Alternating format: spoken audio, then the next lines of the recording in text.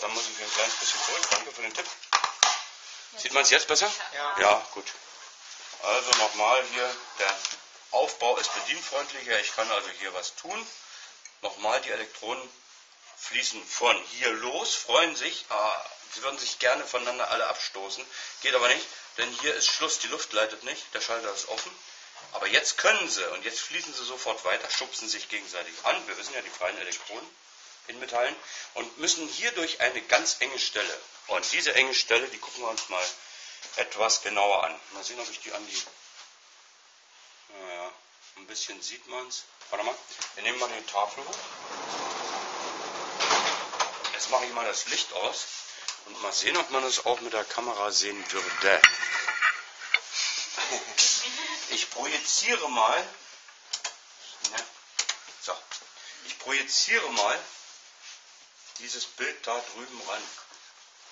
Ja, und so ein bisschen sieht man diesen Glühfaden. Aber richtig betrachtet ist er so besser. Indem man nämlich, jetzt nehme ich wieder die Kamera rüber. Sieht man die Lampe da drin? Schön. Und wenn man das jetzt hier durch eine Lupe anguckt, und das macht ihr jetzt alle gleich, äh, dann sieht man, dass man es mit ganz kleinen Fäden, äh, feinen Glühfäden zu tun hat, die furchtbar dünn sind. Und wenn Glühfäden furchtbar dünn sind, dann heißt es, der Strom hat sozusagen keinen Platz und reibt sich daran. Deswegen fangen die Glühfäden auch an zu glühen. Und helleres Glühen ist eigentlich nichts anderes als auch eine andere Art der Strahlung. Das ist bis dahin nichts Besonderes. Das ist ein einfacher Stromkreis, den kennt ihr wahrscheinlich aus Werkunterrichten und Ähnlichem. Ne? Bis jetzt ist es nichts Besonderes. Ihr werdet aber dann noch andere Dinge machen. Also gucken wir mal weiter. Wir bleiben hier mit unserer Spannungsquelle. Machen wir mal aus. Und jetzt schnappen wir uns mal ohne Schalter. Äh, jetzt spielen wir Weihnachten. Und zwar mehrere Lampen. Die schalten wir in der sogenannten Reihenschaltung. Also alle in Reihe. Ich mache mal das Licht an, damit jemand was sieht. Vielleicht wird das Video auch gar nicht so, dass man das gar nicht verwerten kann. Und wenn ich jetzt hier diese einzelnen Lampen entsprechend verbinde, habe ich drei Lampen hier. Und diese drei Lampen, mal sehen, ob das noch höher geht. Ja, nee, gut, muss man so lassen. Ähm, und diese drei Lampen hier, Achtung, der einfachste Stromkreis der Welt, mal sehen, ob sie funktionieren. Ja, jetzt fangen die langsam an zu leuchten. Und weil die unterschiedliche Dicken haben, die Glühfäden, leuchtet die ein bisschen heller. Das nehmen wir aber mal so hin, das kennen wir eigentlich vom Weihnachtsbaum. Jetzt haben wir bloß drei Kerzen, ist klar. Wenn ich beim Weihnachtsbaum eine Kerze wegnehme, also rausdrehe, wobei man dann nicht sieht, welche rausgedreht ist, kennt ihr wahrscheinlich auch, man ärgert sich. Wenn ich eine rausdrehe, dann kann der Strom ja nicht weiterfließen. Das ist ja wie so ein offener Schalter hier an der Stelle. Der Strom fließt bloß, hier reibt er sich, weiter, hier reibt er sich, hier, äh, und er kommt nicht weiter. Der bleibt stehen. Und wenn Strom stehen bleibt sozusagen, die Elektronen also stehen bleiben, dann ist kein Strom, dann ist es kein Fluss von Elektronen. Also kann sich hier auch nichts mehr erhitzen. Und jetzt schließe ich den Stromkreis wieder.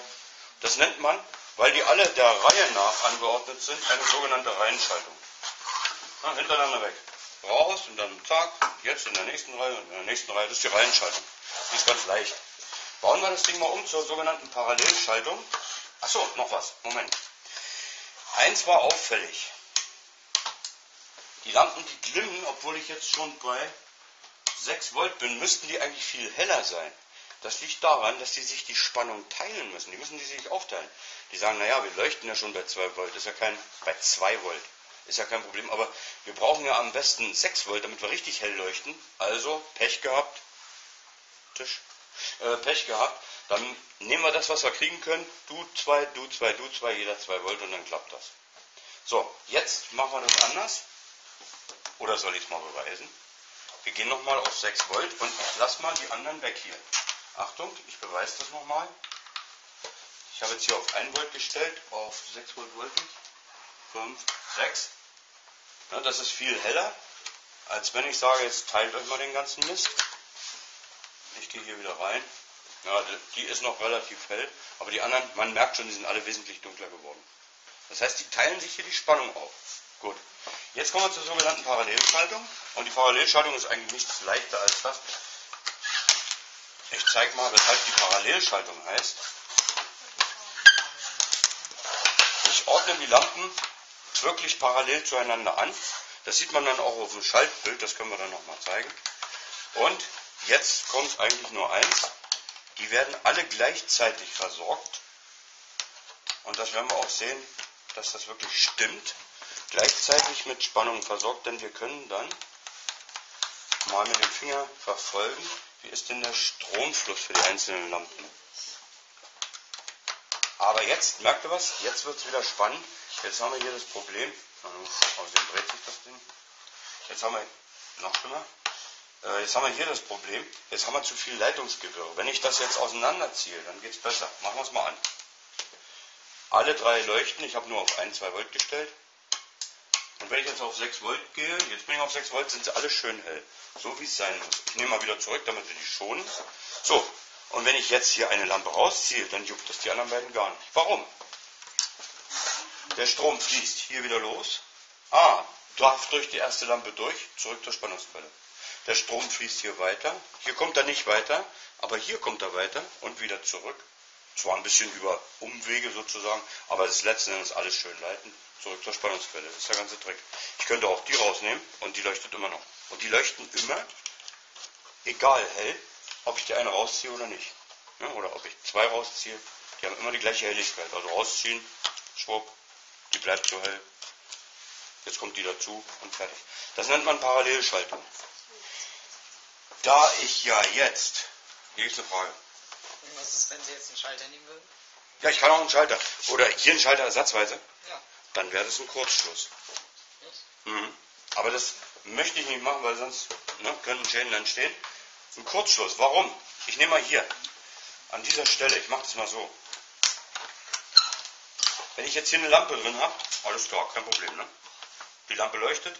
Aber die bildet einen Widerstand, die widersteht dem Strom sozusagen und durch diese Reibung entsteht Wärme, dann ist es kein Problem. Wenn ich jetzt hier einen Schalter reinstecken würde, hier, und den auch noch schließe, dann hat der Strom überhaupt keinen, also so geringen Widerstand, dann würde der sofort hier über den Schalter mit voller Kraft fließen können und dann würde mir die Spannungsquelle kaputt gehen können. Das gleiche kann ich auch machen, indem ich sage, gut, lassen wir die leuchten hier, machen wir das bei der zweiten.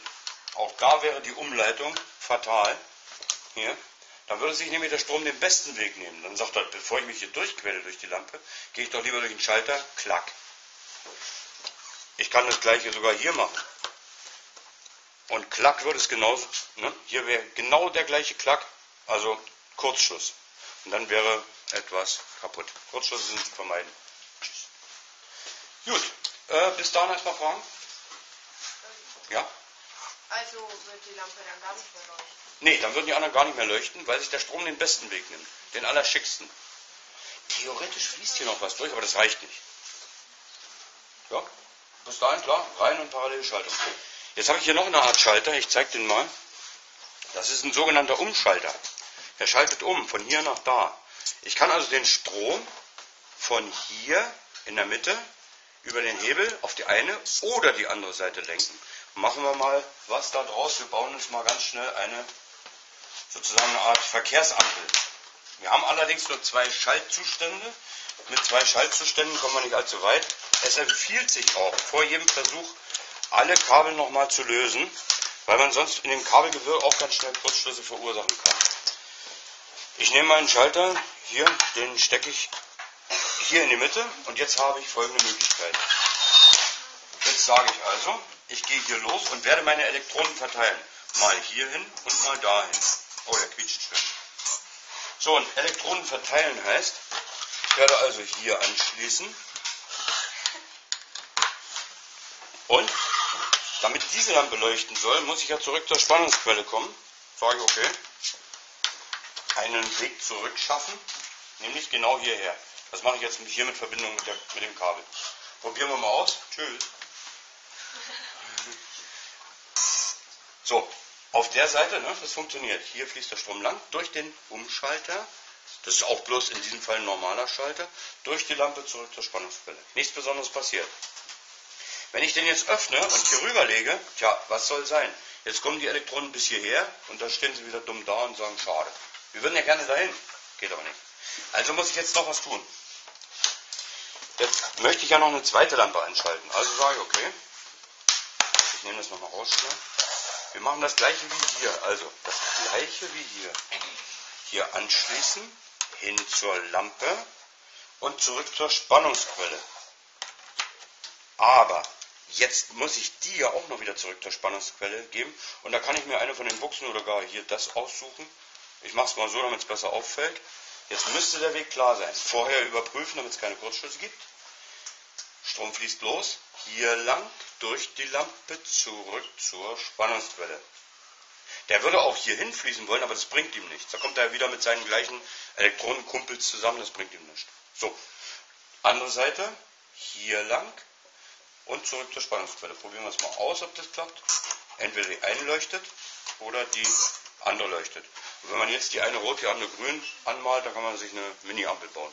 So einfach ist es. Hm? Also in der USA sind ja so eine ähnlichen, also bei den Bahnschienen. Mhm. Also Ja. es ist nichts anderes, außer es ist mechanisch immer so. Richtig, da ist intern so ein, so ein Umschalter, der schaltet immer hin und her. Genau, in den USA diese Traffic Lights äh, für die Bahn. Ja, wenn man das so hören würde, wäre grauselig. Ja, klar. Okay, gibt es bis dahin erstmal Fragen oder können wir das Video erstmal dicht machen? Ne, wir können jetzt noch weiter fummeln, aber das bringt fürs Video nichts. Jetzt, jetzt können wir noch ein bisschen experimentieren. Wir werden jetzt, wie gesagt, nochmal hier mit einer Lupe anschauen, wie solche Dinge wirklich aussehen, wie dünn die Glühfäden sind und dann ist gut. So, jetzt bin ich mal gespannt.